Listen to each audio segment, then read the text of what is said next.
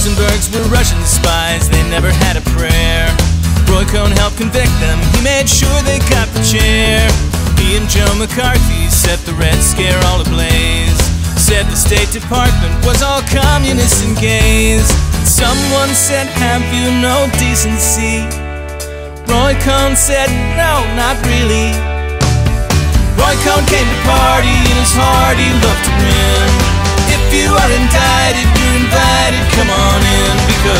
Roy Cohn came to party. Back in New York City, where his list of clients grew. Defended a young Trump, taught him everything he knew.